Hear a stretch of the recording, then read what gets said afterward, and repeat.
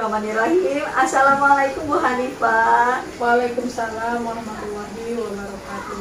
Bu Tiana. Sehat Bu Tiana. Alhamdulillah. Seperti yang sudah kita rencanakan ya Bu Hanifah dua hari yang lalu bahwasanya hari ini kegiatan yang akan uh, kita berdua lakukan yaitu pra observasi kelas yang nantinya akan menjadi dasar Bu Hanifah di kelas untuk melakukan kegiatan supervisi akademik dan saya akan mengobservasi kegiatan Bu Hanifah di kelas. Sebelumnya ada beberapa uh, kegiatan, langkah-langkah kegiatan yang harus dilalui yaitu yang pertama praobservasi, yang kedua observasi, dan yang ketiga adalah pasca observasi. Saya mau bertanya dulu dengan Bu Hanifah, rencananya akan mengajar di kelas berapa? Uh, insya Allah uh, untuk seperti hari ini saya akan mengajar di kelas 4G. Oh 4G. Kalau boleh tahu jumlah siswanya ada berapa? Ada sekitar 25. 25 orang. Baiklah Bu Hanifah, saya akan bertanya tujuan pembelajaran yang akan Bu Hanifah hadirkan dalam kegiatan supervisi akademik apa saja? Uh, untuk supervisi kali ini materi uh, atau bab yang saya ambil itu uh, materi menyambut usia balik yaitu bab ketiga pada pembelajaran PAI di semester satu. Adapun tujuan pembelajaran itu ada dua. Yang ya. pertama peserta didik mampu menjelaskan tanda-tanda balik menurut ilmu biologi dengan benar dan yang kedua peserta didik mampu menentukan tanda-tanda balik menurut ilmu biologi dengan benar. Saya pengembangan yang hendak dicapai dari tujuan pembelajaran yang Bu Hanifah susun seperti apa?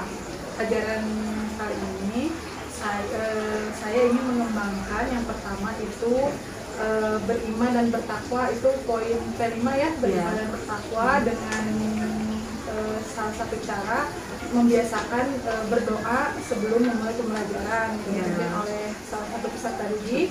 Kemudian yang kedua itu ada bergotong royong. Nah, bergotong di sini diaplikasikan dalam bentuk pembelajaran secara berkelompok.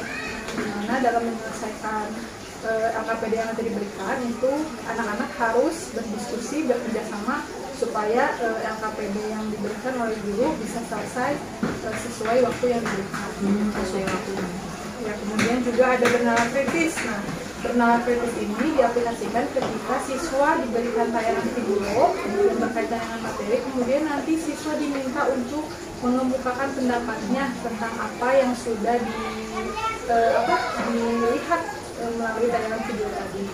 Kemudian kalau kebetulan karena PAI ada juga tambahan selain P5 tapi eh, juga ada profil pelajar rahmatan lil alamin misalnya PAI yang pertama itu ada berkeadaban atau ta'aduh sama tadi melatih serta didik supaya bisa uh, berdoa dulu sebelum belajar gitu ya. Kemudian yang kedua ada musyawarah atau syurok nah itu tadi di berkelompok harus ada musyawarah menentukan jawaban mana yang tepat gitu ya berdiskusi sekelompok kemudian yang terakhir juga ada kesetaraan atau musawah nah jadi eh, karena duduk berkelompok peserta didik tidak bisa memilih eh, mau duduk sama siapa. Jadi guru itu eh, sok mau sama siapa saja nah. semuanya sama. Jadi tidak memilih nah, itu mungkin itu. Oh, baiklah sudah dirancang sekali ya. Kira-kira strategi yang dipersiapkan selain tadi pengembangan yang sudah disusun dengan rinci strateginya apa nih yang bakal digunakan? Uh, pada pembelajaran kali ini saya membuat uh, atau menggunakan uh, model pembelajaran PBL dengan menerapkan metode make a match. Hmm. Jadi nanti pada awal pembelajaran peserta didik itu diberikan sebuah tayangan video hmm. yang berkaitan dengan materi balik dan karena balik biologi.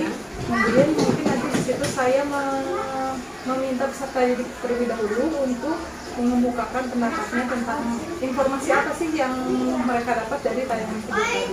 Kemudian juga nanti saya memunculkan mungkin beberapa masalah yang masalah-masalah tersebut yang terjadi di kehidupan mereka gitu.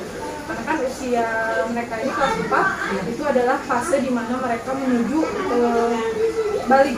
Ya, mungkin e, di kelas 4 yang lain yang saya ajar sebelumnya sudah ada beberapa siswa yang sudah mengalami balik ini gitu. tapi yang masuk ke fase balik jadi Oh, belum ada belum ada yang iya, iya. menstruasi belum ada yang mimpi basah seperti itu jadi tapi kenapa perlu dipelajari sebelum mereka memasuki balik Iya. itu karena sebagai bekal supaya nanti ketika mereka berada di fase itu mereka tahu apa Iya. yang harus mereka lakukan apa yang eh, harus seperti apa gitu tindakan apa yang nanti setelah itu eh, saya memberikan AKPD kepada siswa yang dilakukan secara berkelompok di dalam AKPD itu ada beberapa langkah-langkah kegiatan Ya. Eh, tapi intinya nanti peserta didik itu bisa membedakan mana tanda-tanda balik yang terjadi pada laki-laki dan mana yang terjadi pada perempuan. Karena kan antara laki-laki dan perempuan itu ada perbedaan ya. Nah, diharapkan setelah pembelajaran itu mampu membedakan tanda-tanda balik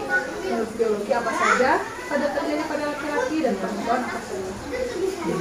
Nanti di akhir mungkin ada presentasi dari anaknya hasil kerja kelompok diskusi disampaikan oleh setiap kelompok kemudian nanti eh, di akhir anak juga melakukan eh, menyimpulkan mengenai pembelajaran yang sudah dilakukan. Gitu. mungkin nanti saya juga memberikan penguatan ya terhadap eh, apa yang disampaikan oleh anak kemudian ada SPI mungkin supaya anak tidak bosan tidak jenuh.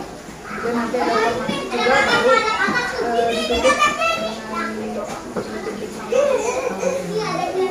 Alhamdulillah kegiatan praobservasinya sudah selesai. Dan tadi saya sudah mencatat bagian-bagian pentingnya dan Bu Hanifah sudah menyusun strategi dan langkah serta media yang akan dipersiapkan ya sepertinya tadi kan ada video yang sudah mempersiapkan LKPD semoga nanti berjalan dengan lancar. Nah, iya, nanti kita ketemu lagi ya di kelas yang untuk kegiatan observasi dan pasca observasi. Terima kasih Bu Hanifah. Assalamualaikum.